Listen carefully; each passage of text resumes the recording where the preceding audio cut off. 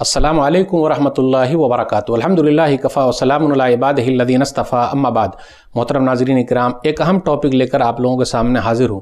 میری کرسمس پچیس دسمبر کو ہر سال یہ ہوتا ہے کہ لوگ میری کرسمس کہتے ہیں یعنی ایک دوسرے کو مبارکباد دیتے ہیں۔ مسلمان لوگ بھی عیسائیوں کو، کرسچن لوگوں کو یہ کہہ کے مبارکباد دیتے ہیں۔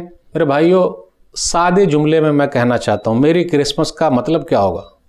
یعنی اللہ تعالیٰ نے نوز باللہ بیٹا جنا۔ عیسیٰ علیہ السلاۃ والسلام اللہ کے بیٹے ہیں۔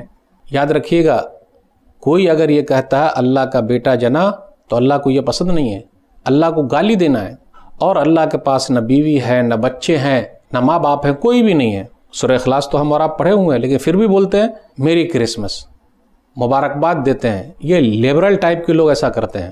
سورہ اخلاص، سورہ نمبر ایک سو بارہ پڑھیے قلو اللہ احد اللہ الصمد لم یلد ولم یولد ولم یک اللہ کف و کہہ دیجیے، اللہ ایک ہے، اللہ بے نیاز ہے۔ وہ کسی کا محتاج نہیں، سب اسی کے محتاج ہیں۔ اس کے کوئی بال بچے نہیں، ماں باپ بھی نہیں، اور اس کے برابر کوئی ہے ہی نہیں۔ اللہ کو بڑی تکلیف ہوتی ہے۔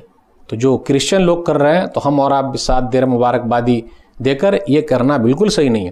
تقاد السماوات و تفتر نمن و تنشق الارض و تخر الجبال و حدا ان داول الرحمٰن والدا ومائم بغیل الرحمٰن انیت تخذہ والدا سورہ مریم، سورہ نمبر انیس، آیت نمبر نبے، اکیانوے، بانوے۔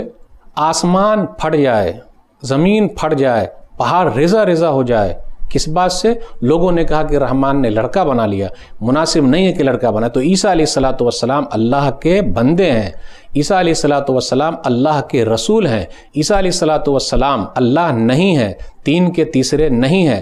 عیسیٰ علیہ السلاۃ والسلام کی پیدائش معجزے کے طور پر بغیر باپ کی ہوئی ہے اور بغیر باپ کے پیدا ہونا یہ بڑا معجزہ ہے۔ تو آدم علیہ السلاۃ والسلام تو ماں باپ دونوں کے بغیر پیدا ہوئے ہیں، تو وہ تو بڑے معجزے ہیں۔ ان کو اور اللہ کہنا چاہیے نوز باللہ۔ لیکن آدم علیہ السلاۃ والسلام اللہ نہیں ہے، بلکہ اللہ کے بندے ہیں۔ اسی طریقے سے عیسیٰ علیہ السلاۃ والسلام اللہ نہیں ہے، اللہ کے بیٹے نہیں ہیں۔ بلکہ اللہ کے بندے اور اللہ کے رسول ہیں۔ عیسیٰ علیہ السلاۃ والسلام کو اللہ نے آسمان پہ اٹھا لیا ہے اور قیامت کے قریب بڑی نشانی کے طور پر وہ زمین پر اتریں گے اور نبی صلی اللہ علیہ وسلم کے طریقے پر عمل کریں گے۔ تو میرے بھائیو، عیسیٰ علیہ السلاۃ والسلام اللہ کے بندے ہیں، اللہ کے رسول ہیں، اللہ کے بیٹے نہیں ہیں۔ اللہ ہم سب کو صحیح سمجھ عطا فرمائے۔ اگر ہم اور آپ نہیں باز آئیں گے تو گویا کہ انہی کے طریقے پر ہو گئے۔ من تشبہ بقوم فہو منہم۔ سر نبی داؤد، کتاب اللباس، حدیث number four zero three one. جو جس قوم کی مشابہت اختیار کرے گا، وہ اسی میں سے ہو جائے گا۔ اللہ ہم سب کو صحیح سمجھ عطا فرمائے، دین پر قائم رکھے، اسلام کی محبت دلوں میں بیٹھا دے، آمین۔ والسلام علیکم ورحمۃ اللہ وبرکاتہ۔